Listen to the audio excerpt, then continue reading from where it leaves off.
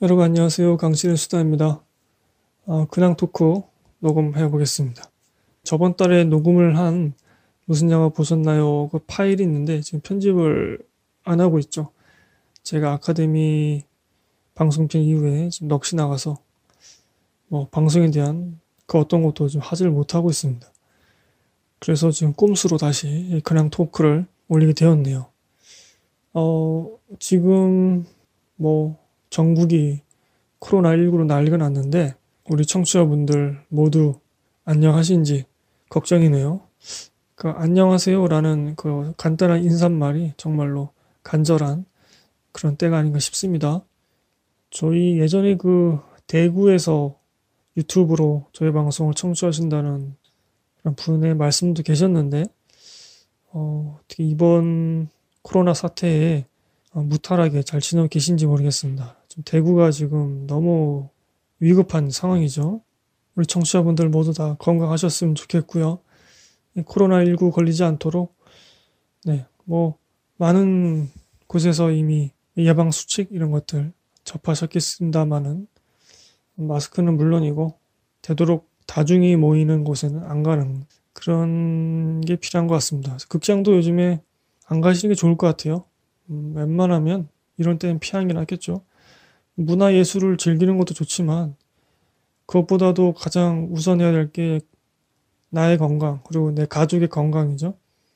이 코로나19가 뭐 그렇게 아주 심각한 타격을 주는 그런 질병은 아닌 것 같습니다만 전파력이 너무 강하고 또 일단 걸리게 되면은 굉장히 좀 번거롭게 되고 또 자칫 이미 병을 앓고 계신 분들이라던가 아니면 좀 몸이 약한 면역력이 약한 그런 분 혹은 그런 가족을 둔 분이라면 또 심각하게 발전할 수도 있는 질병이기 때문에 일단 피하고 보는 게 상책인 것 같습니다. 극장도 여러분 뭐 이미 다 발길을 끊으셨겠지만 저도 말씀드리자면 가지 않는 게 좋겠다. 저희 방송 영화 팟캐스트지만 또 영화를 매우 좋아하지만 가지 마세요 여러분. 당분간은 하지 마시고 요즘 뭐 VOD 좋게 잘 나오니까 서비스가 남산의 부장들도 이제 금방 또 VOD 나왔더라고요. 저도 얼마 전에 보기도 했었고 그렇습니다. 그래서 지금 개봉 영화들이 줄줄이 다 개봉 연기 혹은 뭐 개봉 취소 이렇게 되고 있고요. 지금 봉준호 감독의 기생충 흑백판이 또 있습니다. 그 외국 영화제 이제 출품을 하기 위해서 흑백 버전으로 다시 편집을 한 건데 그것을 국내에서도 개봉하기로 했었고 그게 지금 음 제가 지금 살펴보니까 뭐 5월 달쯤으로 여, 개봉 연기가 된 걸로 그렇게 확인이 되네요. 확실한 건지 모르겠습니다만 하여튼 기존에 좀 일찍 개봉한다는 것에 비해서는 좀 늦게 개봉할 것 같습니다. 그리고 지금 여러 영화들이 다 뭐 행사 취소, 뭐 시사회, 뭐 기자회견 이런 것들 다 취소하거나 개봉 연기를 하고 뭐 사냥의 시간 그리고 뭐 결백 이런 영화들 코로나 19 때문에 일정을 미루는 것 같습니다. 그리고 지금 극장에서도 어, 박스 오피스 1등을 하는 영화를 할지라도 지금 관객 수가 굉장히 적죠. 뭐 당연한 거라고 생각하고 어쩔 수 없다고 생각합니다만 제가 지금 살펴보니까 전도연 씨가 나오는 지푸라기라도 잡고 싶은 짐승들 이 영화가 박스 오피스 1등인데 지금 2월 22일 날 토요일이죠. 어, 1일 관객 수가 9만 5천 명입니다. 10만이 넘지 않는 그런 수준으로 지금 관객들의 발걸음이 뚝 끊겼다는 거죠. 어, 그래도 이 와중에도 이렇게 영화를 보러 가시는 분들 정말 용기가 그리고 이 영화에 대한 애정이 좀 크신 분들 아닌가 싶네요. 저는 무서워서 못 가겠어요. 지금 보고 싶은 영화들이 저도 꽤 있는데 남산의 부장들부터 극장에서 보지를 못했고 어, 결국에는 VOD를 봤지만 어, 이 지푸라기라도 잡고 싶은 짐승들 이 영화도 아, 그 예고편을 봤을 때는 그렇게 뭐 썩 좋지는 않았는데 그래도 한번 극장에서 봤으면 어땠을까 싶기도 했거든요. 음, 이 예고편을 볼 때부터 아 이건 뭔가 좀 일본 냄새가 난다. 일본 티카다. 그런 생각이 들었는데 이게 원작이 일본 쪽에서 나온 걸로 제가 봤습니다. 일본 작가 소네 케이스케의 동명 소설을 원작으로 한다고 하는데 이 영화에 대한 평가들이 뭐 나쁘지는 않네요. 음, 준수한 편이고 좀 박평식 평론가가 5점을 주면서 좀 전체 평균점이 좀 확 낮아지긴 했지만 범죄물 쪽에서 오랜만에 좀 세련되게 나온 영화다 이런 평가가 있기도 합니다. 그리고 아카데미에서 우리 기생충과 경쟁을 했던 1917 전쟁 영화 그게 나왔죠. 박스오피스 2등을 기록하고 있고 음, 촬영상을 받았잖아요. 그래서 이 영화 촬영을 좀 큰 화면에서 보면 더 좋을 것 같기도 한데 그리고 작은 아씨들 이 영화도 어, 왠지 궁금하더라고요. 뭔가 어, 현대 시대에 맞춰서 변형을 하지 않았을까 싶기도 하고요. 궁금하네요. 작은 아씨들도. 제가 인상적이었던 그 영상 클립, 작은 아씨들의 그 한 장면 클립을 봤는데, 원래 각본에는 없던 거였지만, 이제 메릴 스트립이, 어, 그 당시 시대를 설명하면서, 이제 이 부분이 꼭 들어가야 된다라고 감독한테 아주 얘기를 했다고 해요. 그래서 메릴 스트립의 충고에 따라서 감독이 그 즉석에서 뭐 쪽지 대본이죠. 쪽 대본. 그런 식으로 플로렌스 퓨한테 대사를 줬다고 하죠. 플로렌스 퓨는 미드소마에서 인상적인 또 연기를 보여주셨고, 이제 블랙 위도우에서도 나온다고 하시네요.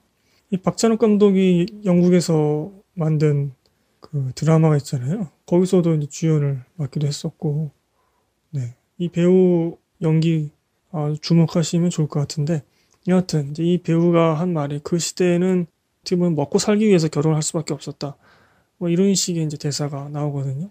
좀 그런 게 참 좋더라고요. 그런 어떻게 보면 욕망, 생존에 대한 욕망이잖아요.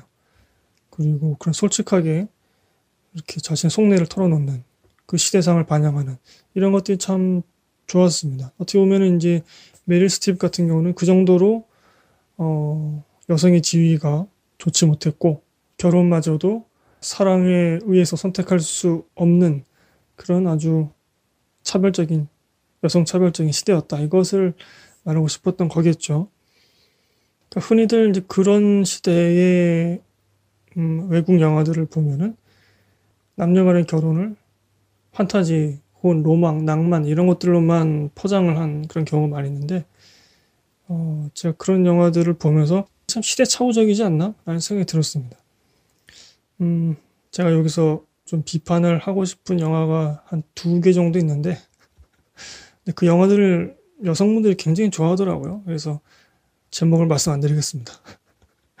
그런 영화 보면서 참, 야, 어떻게 이런 영화가 아직까지도 평론가들한테 좋은 평가를 받을까? 그런 생각을 했었거든요.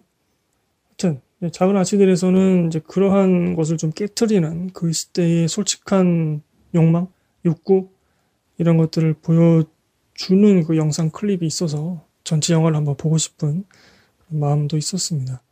네, 하지만 극장에는 지금 가지를 못하는 거로 나중에 부여되어 나오고 제가 또 보게 되면 어, 녹음을 할지 말지 또 결정을 해보겠습니다. 얼마 전에 본 남산의 부장들 같은 경우는 아, 볼 때는 굉장히 몰입감 있게 봤는데 이 휘발성이 굉장히 강하더라고요.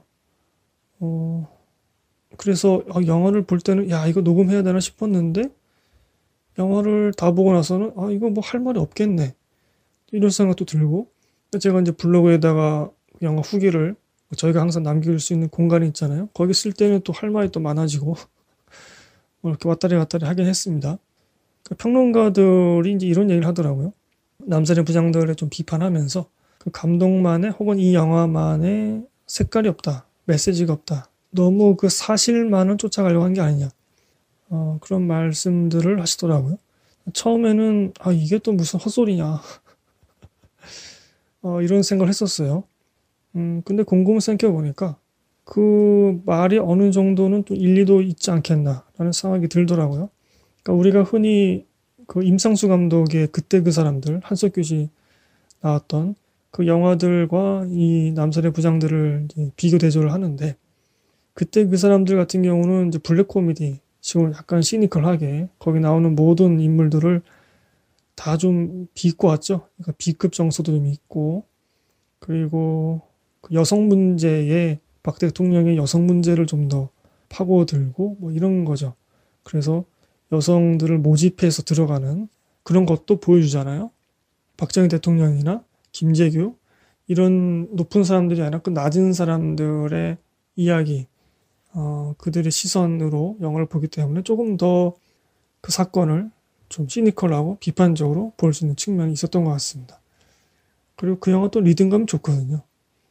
어, 근데 이 남산의 부장들 같은 경우는 김재규의 시선으로 영화가 흘러가죠. 그리고 여성 문제보다는 이제 돈 문제가 더 부각이 되고 혹은 이제 권력 문제 이것에 좀 더 집중을 하고 있죠. 이 감독 같은 경우는 이야기의 힘, 이야기에 좀 더 짜임새를 해서 이걸로 승부하는 감독이 아니라 그 사건과 캐릭터의 임팩트로 승부하는 감독이거든요.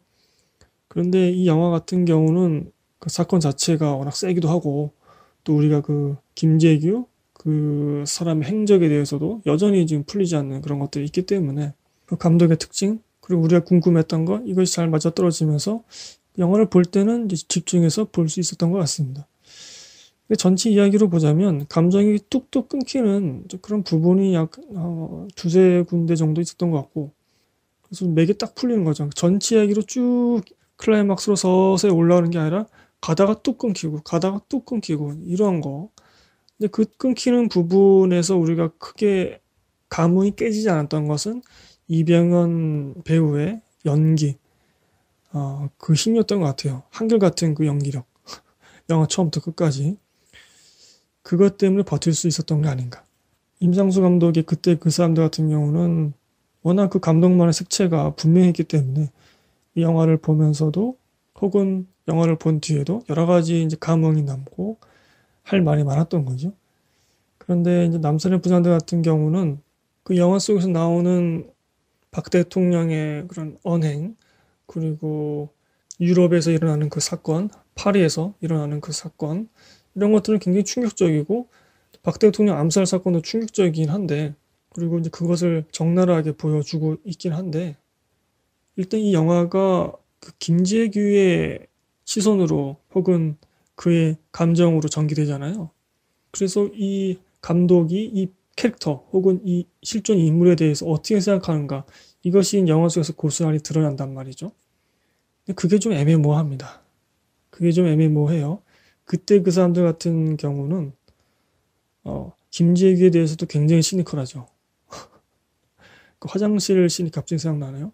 변비가 걸려가지고 어, 화장실에서 변비 때문에 일을 못 보고 나오게 되는 뭐 이러한 것들을 적나라하게 보여주거든요. 근데 남산의 부장들 같은 경우는 김재규라는 실존 인물에 대해서 우리가 여러 가지로 이제 해석할 수 있잖아요. 그때 왜 그랬을까? 그때 이 사람의 감정은 무엇이었을까? 그런 것들을 전부 다 믹스해서 보여주는 선에서 그 정도에서 이제 그칩니다. 영화가. 미국의 사주가 있었을 것이다. 뭐 이런 얘기도 있었고, 혹은 권력 싸움에서 밀려서 그랬을 것이다. 아니면 정말 애국하는 마음으로 영화 속에서 나오는 것처럼 혁명의 배신자가 되지 않기 위해서 그랬을 것이다. 이런 얘기들이 있거든요. 이러한 것들을 전부 다 보여주고 있어요. 그 정도 선에서 그칩니다. 어, 물론 이제 그것이 어떻게 보면 사실 그대로의 가치가 있는 것이죠. 그래서 저는 이 영화가 우리 어린 친구들, 그런 세대한테는 꼭 필요한 영화라고 생각합니다만, 사실로서의 가치죠. 그럼에도, 음, 영화를 다 본 뒤에는 뭔가 남는 게 없는 거죠. 휘발, 휘발되는데 조금 더 날카롭고 더 깊게 뭔가를 더 파고들었으면 좋지 않았을까. 좀 그런 생각이 들기도 합니다. 어, 그나마 좀 느낄 수 있었던 감독 자신만의 어떤 해석 이런 것들을 볼 수 있는 장면이 이제 말씀드리면 스포일러일까요? 그 양말을 바라보는 장면이 있어요. 기생충 같은 경우는 송강호 가족들이 계획이 다 있었잖아요. 그런데 그 양말을 바라보는 그 씬에서는 이 캐릭터가 이 인물이 계획이 없었구나 이거를 이제 엿볼 수도 있는 것이고 그것을 통해서 아 뭔가 좀 정말 쿠데타를 해서 권력을 잡아보려고 하는 그런 게 아니었을 수도 있겠구나 혹은 그것을 더 드러내기 위해서 그 캐릭터가 아 나는 권력을 위해서 이런 일을 한 게 아닙니다 라고 그런 것들을 좀 더 드러내기 위해서 안기부로 가지 않고 오히려 육군 참모총장의 그 본산으로 들어가는 그런 거를 의도했을 수도 있겠죠. 그 박정희 대통령, 그 영화 속에서 나온 박정희 대통령의 그 사람을 다루는 그 영민함, 아, 굉장하다고 느꼈습니다.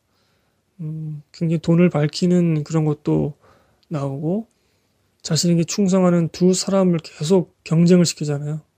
그러다가 조금 자신에게 무리야가는 일을 한 사람은 그대로 내쳐버리고, 그러니까 2인자는 2인자인데, 실질적인 2인자는 아무도 없었던 거죠.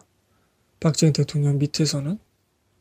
그것을 엿볼 수 있는 장면이 그 프랑스 파리에서 일어난 사건을 경호실장과 안기부장이 동시에 막 경쟁적으로 하잖아요. 그것이 왜 그랬을까? 그런 면들이 영화 속에서 명확하게 보이지는 않습니다만 우리가 짐작할 수 있는 거죠. 아, 대통령에게 잘 보려고 하는구나.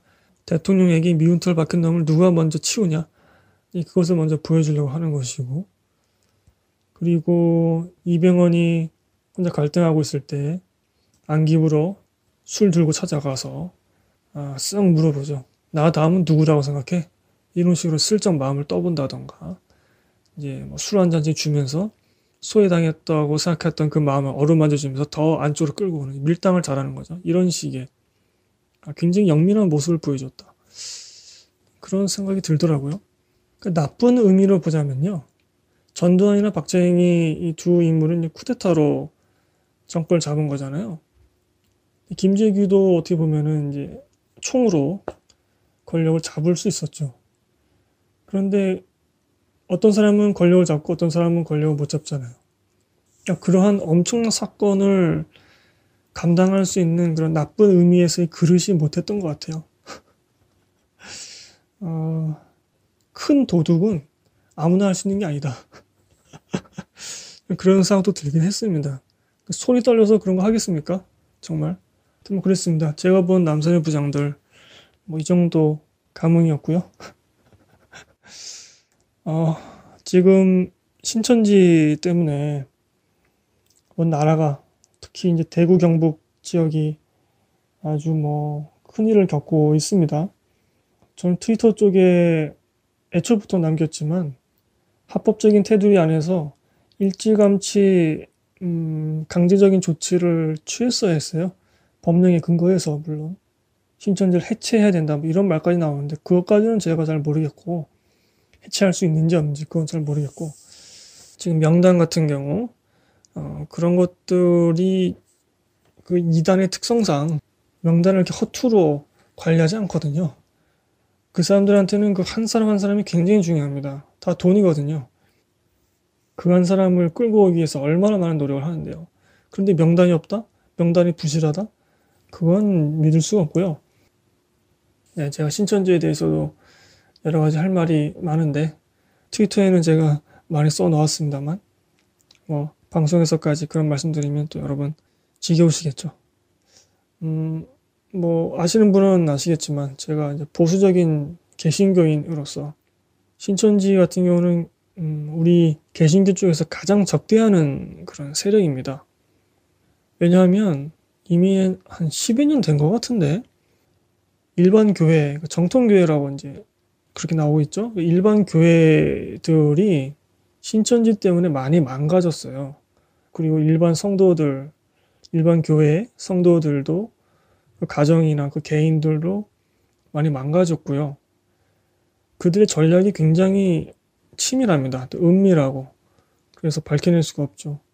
일반 교회에 침투해서 뭐 장로, 뭐 권사, 그러니까 교회에서 간부급에 있는 사람들 혹은 목사까지도 신천지로 넘어갑니다. 그래서 교회가 통으로 넘어가기도 하고 실제로는 신천지가 없다 하더라도 의심할 수 있게끔 되는 그런 단초가 되는 거죠. 당신은 혹시 신천지 아니냐? 어, 한번 의심하게 되고 또 그렇게 의심을 받은 사람은 상처를 입게 되고 싸움이 일어나고 패가 나뉘고 그렇게 되는 거죠. 종교생활이라는 것이 신앙생활이라는 것이 신을 향한 어떤 믿음, 신뢰 이런 것들이 중요하지만 옆에서 같이 그 신앙생활 하는 그 인간관계도 중요하거든요. 근데 거기에 그 신뢰에 금이 가게 되면 그 교회에서 함께 생활할 수 없고 조금 더 나아가서는 그 종교에서 아예 떠나게 되는 거죠. 아, 내가 뭐 하려고, 어? 이렇게 싸우려고, 이런 의심을 받으려고 기독교를 믿었나? 이런 생각까지 하게 되거든요. 어, 그래서 개신교 쪽에서는 굉장히 신천지에 대해서 뭐 10여 년 됐습니다, 진짜로. 그래서 그 집단의 전략이라든가 폐해 이런 것들 알고 있었죠. 그래서 이번 사건에서 신천지가 언급됐을 때 좀 더 빠르고 과감하게 법령에 근거해서 물론 빠르고 과감하게 처리할 필요가 있다라고 생각이 들었고 이제 한 며칠 지났지만 이제 이제 정부도 그 심각성을 파악한 것 같아서 다행이긴 하죠. 어, 우리 청취자분들 중에서 신천지 다니시는 분 계실까요? 예전에 저희 트위터 특친 중에서 한 분이 신천지 글을 막 홍보하시던데, 네, 저는 완전히 반대의 입장을 갖고 있어서, 만약 청취하고 계신다면 어떻게 들으실지 모르겠는데, 기분이 나쁘시겠네요. 그런데 또 한편 이런 생각도 듭니다. 굉장히 좀 미안한 마음도 들어요.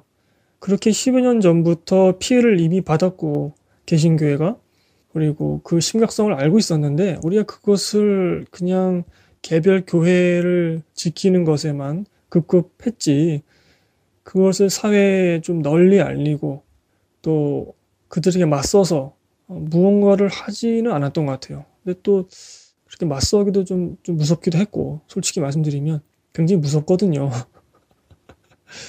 그리고 교회를 다니다가 신천지를 가신 분들의 대부분은 말씀, 그러니까 성경 교육을 제대로 못 받았거나 혹은 교회에서 상처받은 분들 혹은 교회에서 어떤 마음의 만족, 뭐 조금 더 깊게 말씀드리면 영적인 만족 그런 것들을 느끼지 못한 그런 분들이 신천지를 많이 쓸려갑니다. 뭐 신천지뿐만 아니라 그런 사이비 이단에서는 그런 마음을 굉장히 잘 어루만져 주거든요.